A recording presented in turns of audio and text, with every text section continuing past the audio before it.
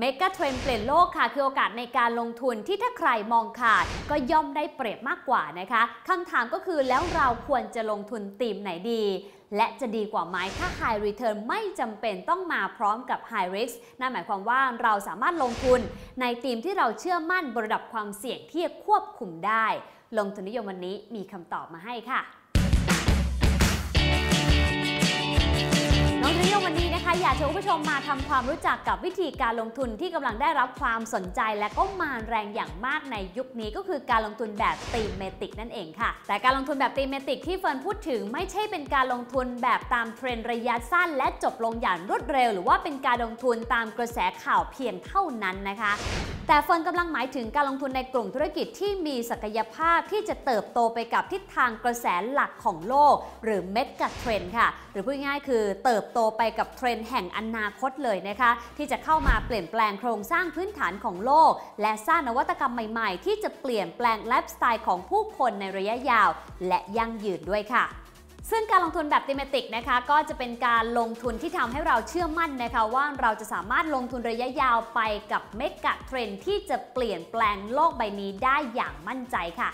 และถ้าใครนึกไม่ออกนะคะว่าจะมีอะไรที่สามารถเข้ามาเปลี่ยนแปลงโลกใบนี้ของเราได้อย่างรวดเร็ว และเราก็สามารถทำกำไรจากเทรนที่เกิดขึ้นได้ คิดง่าย ๆ เลยค่ะ ให้นึกถึงการเกิดวิกฤตโควิด -19 นะคะเพราะว่าหลังจากเกิดการแพร่ระบาดของโควิด -19 ทำให้ผู้คนทั่วโลกเนี่ยต้องปรับตัวเข้าสู่ยุค New Normal หรือเป็นความปกติรูปแบบใหม่ในทุกๆ ด้านเลยค่ะ ทั้งไลฟ์สไตล์การทำธุรกิจการทำงาน หรือแม้แต่การแพทย์และสาธารณสุข รวมไปถึงภาคการศึกษาด้วย เช่นเดียวกับโลกของการลงทุนนะคะ เพราะว่าโควิด -19 ไม่ได้ส่งผลกระทบต่อการลงทุนในภาพรวมเท่านั้นค่ะ แต่ยังส่งผลอย่างมีนัยสำคัญกับธีมการลงทุนด้วยค่ะ โดยเฉพาะธีมนวัตกรรมเพื่อสุขภาพนะคะที่รับความสนใจจากนักลงทุนอย่างมากในยุคโควิดนี้ ดังนั้นถ้าใครมองขาดนะคะว่าโควิด -19 เป็นโอกาสของธุรกิจในกลุ่มไหน หรือมีธีมลงทุนอะไรที่จะได้รับประโยชน์และเติบโตได้ท่ามกลางวิกฤตนี้ ก็จะยิ่งเพิ่มโอกาสในการทำกำไรให้กับพอร์ตมากยิ่งขึ้นนั่นเองค่ะส่วนในโลกของเทคโนโลยีนะคะ การมาของ Metaverse นะคะ หรือว่าโลกเสมือนจริงที่กำลังเกิดขึ้นในอนาคตอันใกล้นี้ ก็เป็นเรื่องที่ถูกพูดถึง และเป็นกระแสที่กำลังมาแรงเลยทีเดียวค่ะ เพราะว่าบริษัทเทคโนโลยีและโซเชียลมีเดียชั้นนำระดับโลก ต่างพุ่งเป้าไปที่การพัฒนาการให้บริการในโลก Metaverse กันแล้วค่ะ ไม่ใช่แค่เรื่องของนวัตกรรมสุขภาพหรือว่าเทคโนโลยีนะคะ แต่ว่าเมกะเทรนที่จะมาเปลี่ยนโลกนั้นมีอีกหลากหลายธุรกิจ และหลากหลายนวัตกรรมค่ะไม่ว่าจะเป็นเรื่องของพลังงานสะอาด การขยายตัวของสังคมเมือง การเปลี่ยนผ่านเข้าสู่สังคมผู้สูงอายุ หรือแม้แต่เรื่องของฟินเทคนะคะ ซึ่งอาจจะทำให้เราเลือกไม่ถูกก็ได้คำถามที่ตามมานะคะพอฟังแบบนี้ก็คือแล้วเราจะลงทุนในทีมไหนดีนะคะ เพราะว่าแต่ละทีมน่าสนใจเต็มไปหมดเลยค่ะ เอาเป็นว่าถ้าเราตัดสินใจไม่ได้นะคะ ว่าจะเก็บธีมไหนเข้าพอร์ตการลงทุนดีนะคะ ลองมาดู4ธีมนะคะ ที่คิดว่าจะเป็นเทรนด์เปลี่ยนโลกกับกองทุน ETF ค่ะ ซึ่งทาง Stataway ซึ่งเป็นแพลตฟอร์มบริหารการลงทุนที่ใหญ่ที่สุดใน Southeast Asia คัดเลือกมาให้แล้วค่ะ และที่สำคัญนะคะ Stataway นะคะยังเป็นเจ้าแรกค่ะที่ให้ผู้ลงทุนเนี่ยสามารถลงทุนตามธีมไปพร้อม ๆ กับการควบคุมความเสี่ยงได้ด้วยค่ะ 4 ธีมที่ว่ามีอะไรบ้างนะคะทำธุรกิจประเภทไหนแล้วก็มีความน่าสนใจอย่างไรเดี๋ยวเฟิร์นเล่าให้ฟังค่ะ เริ่มต้นกันที่ธีมแรกกันก่อนเลยนะคะ Technology Enablers นะคะซึ่งเป็นเทคโนโลยีโครงสร้างพื้นฐานสำหรับนวัตกรรมใหม่ๆ ค่ะ เพราะเทคโนโลยีที่ขับเคลื่อนโลกใบนี้กำลังเปลี่ยนแปลงแล้วก็ดูเหมือนจะหมุนไปอย่างรวดเร็วเลยนะคะ อย่างเช่น AI หรือปัญญาประดิษฐ์ Blockchain และ Robotics ค่ะ ซึ่งจะกลายเป็นเทคโนโลยีโครงสร้างพื้นฐานสำคัญ ที่นำไปสู่นวัตกรรมบนโลกอีกมากมายนะคะ ซึ่งกลุ่มธุรกิจที่เข้าไปลงทุนก็มีทั้ง AI บล็อกเชน cloud computing robotics หรือว่าเซมิคอนดักเตอร์นะคะส่วนบริษัทที่เข้าไปลงทุนนะคะก็ล้วนแต่เป็นผู้นำนวัตกรรมในธีมนี้ค่ะ ไม่ว่าจะเป็น Tesla, Amazon, Alphabet, Zoom หรือ Intel ค่ะ ส่วนธีมที่2นะคะคือ the future of consumer tech นะคะหรือว่ากลุ่มธุรกิจที่จะเข้ามาเปลี่ยนแปลงวิถีชีวิตของพวกเราค่ะ ซึ่งกลุ่มธุรกิจ consumer tech ก็ได้พัฒนาเทคโนโลยีใหม่ๆ เพื่อเข้ามาเปลี่ยนแปลงวิถีชีวิตของผู้บริโภค ให้สะดวกสบายขึ้นนะคะ และยังเชื่อมโยงกันง่ายขึ้น ทั้งการซื้อสินค้า การเงิน การสื่อสาร การเดินทาง หรือแม้แต่ความบันเทิงค่ะ จนกลายเป็นส่วนสำคัญในชีวิต แต่ว่านี่ยังเป็นเพียงจุดเริ่มต้นเท่านั้นนะคะ ส่วนกลุ่มธุรกิจที่จะเข้าไปลงทุนนะคะสำหรับทีมนี้ก็มีทั้ง e-commerce fintech gaming อินเทอร์เน็ต โซเชียลมีเดีย และนวัตกรรมยานยนต์ค่ะส่วนบริษัทที่เข้าไปลงทุนนะคะ ส่วนใหญ่ก็ล้วนเป็นกิจการชั้นนำระดับโลกนะคะ พูดไปหลายคนรู้จักแล้วก็เป็นลูกค้าอยู่แล้วด้วยนะคะ ทั้ง Meta Apple PayPal และ Amazon ค่ะ ส่วนธีมที่ 3 ก็คือ Healthcare Innovation ค่ะโดยเราเห็นเลยนะคะว่านวัตกรรมทางการแพทย์เนี่ยพัฒนาอย่างรวดเร็วมาตั้งแต่ก่อนเกิดโควิด -19 แล้วนะคะ โดยเฉพาะช่วงหลังเกิดโควิด -19 นวัตกรรมทางการแพทย์ก็มีแนวโน้ม ที่จะถูกเร่งสปีดอย่างต่อเนื่อง เพื่อพลิกโฉมวงการแพทย์ให้สามารถรักษา แล้วก็ดูแลสุขภาพของผู้คนทั่วโลกได้ อย่างมีประสิทธิภาพมากขึ้น ส่วนกลุ่มธุรกิจที่จะเข้าไปลงทุนนะคะก็มีทั้ง Biotech Genomics อุปกรณ์ทางการแพทย์ เภสัชกรรม ส่วนบริษัทที่เข้าไปลงทุนนะคะพูดไปหลายคนคุ้นเคยกันดีในช่วงที่ผ่านมาค่ะ ไม่ว่าจะเป็น Moderna Pfizer AstraZeneca นะคะหรือว่า IonTech เป็นต้นค่ะ และธีมสุดท้ายนะคะก็คือ Environment and Clean Tech ค่ะ จากสภาวะโลกร้อนนะคะกับสัญญาณเตือนขั้นร้ายแรงที่เกิดขึ้นกับมนุษย์เนี่ยก็นำมาสู่การเร่งพัฒนาเทคโนโลยีเพื่อความยั่งยืน และเทคโนโลยีโลคาร์บอนอย่างต่อเนื่องนะคะ เพราะอนาคตของโลกจะยั่งยืนหรือไม่ก็อยู่ที่ว่าเราจะลดผลกระทบต่อสิ่งแวดล้อมได้เร็วที่สุดอย่างไร โดยกลุ่มธุรกิจที่เข้าไปลงทุนนะคะก็มีทั้งพลังงานสะอาด เทคโนโลยีการจัดการน้ำระบบกักเก็บพลังงานหรือ smart grid นะคะ รวมถึงการเงินสีเขียว และเทคโนโลยีบำบัดขยะด้วยค่ะส่วนตัวอย่างธุรกิจที่เข้าไปลงทุนนะคะ ก็มีทั้ง e n f a d s i m e n Energy แล้วก็ SolarEdge ค่ะ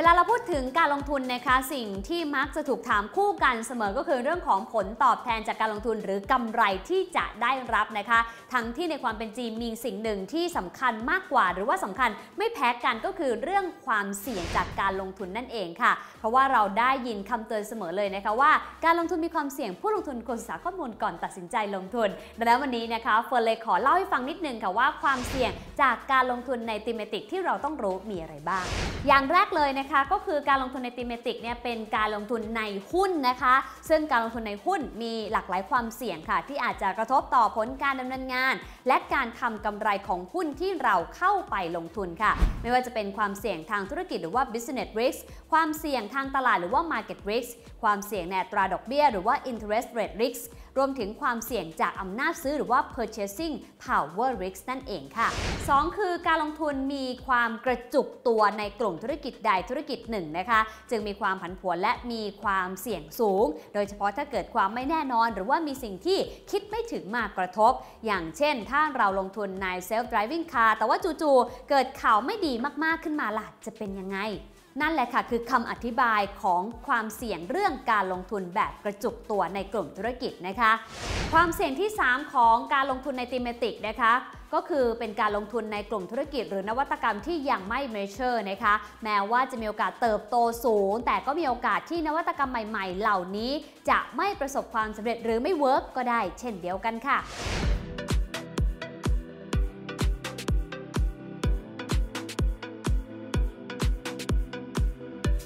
ดังนั้นนะคะการบริหารความเสี่ยงในการลงทุนจึงมีความสำคัญมากนะคะ ไม่ว่าเราจะลงทุนเองหรือว่าลงทุนผ่านผู้จัดการกองทุนก็ตามนะคะ ซึ่งทาง Stashaway ค่ะ เข้ามาบริหารความเสี่ยงนี้ให้กับเรานะคะ ด้วยการกระจายการลงทุนอย่างมีประสิทธิภาพใน 3 ระดับด้วยกันค่ะ ระดับแรกคือภายในทีมค่ะ มีการกระจายการลงทุนในกลุ่มธุรกิจและนวัตกรรมที่หลากหลายภายในทีมนั้นนะคะ เพื่อลดความเสี่ยงด้านการกระจุกตัว และเพิ่มโอกาสการเติบโตจากนวัตกรรมที่หลากหลายเหมือนที่เล่าให้ฟังเมื่อสักครู่นี้นะคะ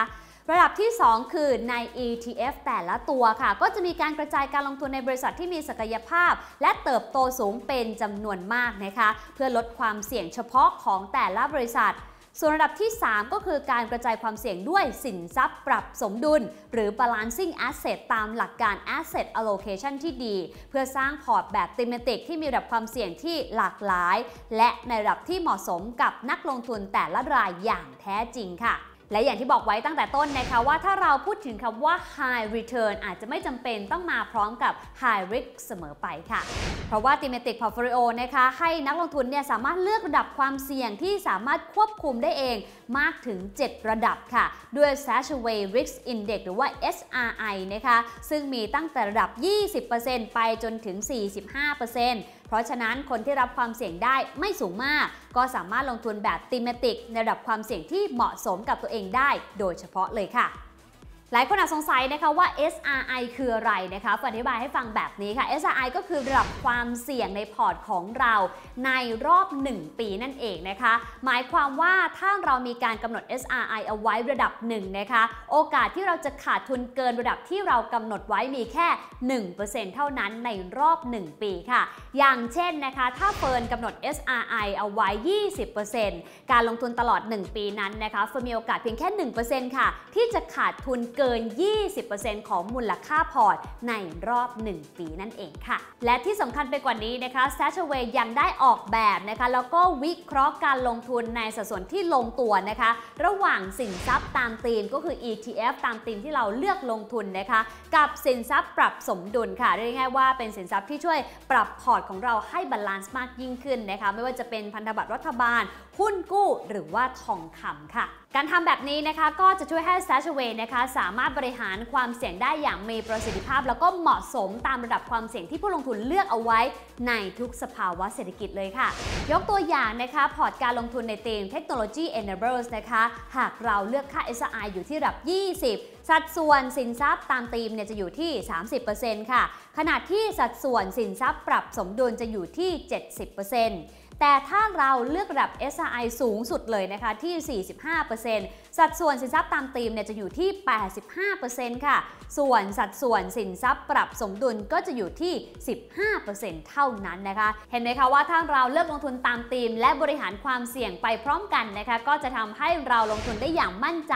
และไม่ต้องแบกรับความเสี่ยงมากจนเกินไปนะคะท้ายที่สุดก็มีโอกาสในการได้รับผลตอบแทนที่เหมาะสมกับความต้องการและก็ระดับความเสี่ยง รวมถึงเป้าหมายของตัวเราเองด้วยค่ะ มาถึงตรงนี้นะคะ ใครบอกว่ายังตัดสินใจไม่ได้เลยนะคะว่าจะลงทุนตามธีม หรือว่าธีมเมติกดีไหมนะคะเฟิร์นมีเหตุผล 6 ข้อค่ะ ที่อาจจะเหมาะสำหรับใครที่กำลังตัดสินใจอยู่ว่าจะลงทุนกับ s a t c h a w a y ดีหรือเปล่า ข้อแรกเลยค่ะ เป็นการลงทุนในเทรนด์แห่งอนาคตนะคะที่จะสร้างการเปลี่ยนแปลงครั้งสำคัญ โดยลงทุนในธีมที่เราเชื่อมั่นค่ะว่าจะเข้ามาเปลี่ยนแปลงโลกอย่างรวดเร็ว และเติบโตอย่างยั่งยืนในระยะยาว 2. ค่ะกระจายการลงทุนในนวัตกรรมที่หลากหลายภายใต้ธีมที่เราเชื่อมั่นนะคะ ซึ่งแต่ละธีมก็จะมีการลงทุนใน 4-6 กลุ่มธุรกิจที่สำคัญในหลายร้อยบริษัท เพื่อบริหารความเสี่ยงอย่างมีประสิทธิภาพ และยังเพิ่มโอกาสในการเติบโตแบบก้าวกระโดดจากนวัตกรรมที่หลากหลายค่ะ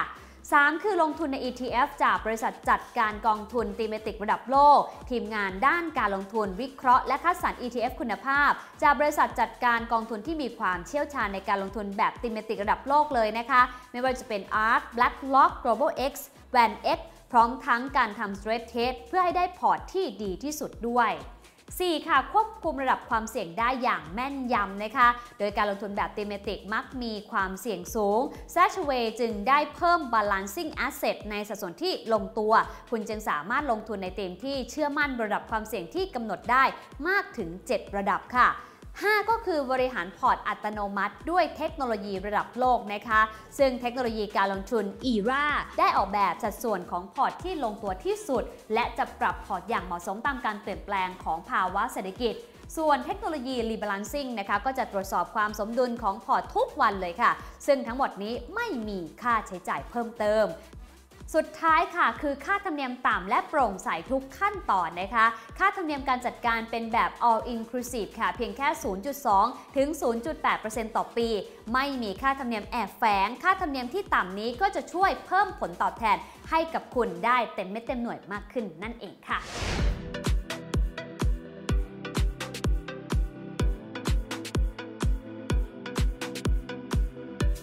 ำหรับใครนะคะที่สนใจการลงทุนแบบ thematic portfolio นะคะก็สามารถเปิดบัญชีผ่านแอปพลิเคชัน เพื่อเริ่มลงทุนกับ Stashaway ได้แล้วตั้งแต่วันนี้ค่ะ เพียงแค่ดาวน์โหลดแอปพลิเคชัน Stashaway ผ่านทาง App Store หรือ Play Store นะคะ เพียงเท่านี้ค่ะ การลงทุนก็กลายเป็นเรื่องง่าย เพราะว่าสามารถเปิดบัญชีด้วยเวลาเพียงแค่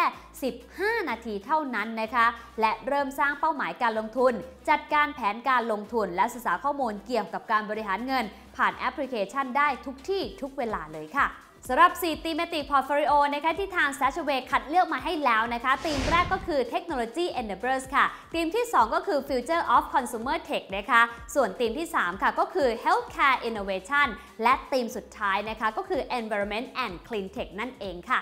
นอกจากนี้ค่ะการลงทุนแบบติเมติกมักจะมีความเสี่ยงสูงนะคะ ดังนั้นถ้าเราสามารถออกแบบพอร์ตการลงทุน พร้อมกับบริหารความเสี่ยงในระดับที่เรารับได้ไปควบคู่กันเนี่ยนะคะ ก็จะทำให้เราสามารถลงทุนในเทรนด์เปลี่ยนโลกได้อย่างมั่นใจ และมีโอกาสได้รับผลตอบแทนที่ดีขึ้นด้วยค่ะ สุดท้ายนะคะ อย่าลืมทำให้การลงทุนของคุณเป็นเรื่องง่ายกับ Stashaway ค่ะแพลตฟอร์มบริหารการลงทุนที่ใหญ่ที่สุดใน Southeast Asia ค่ะ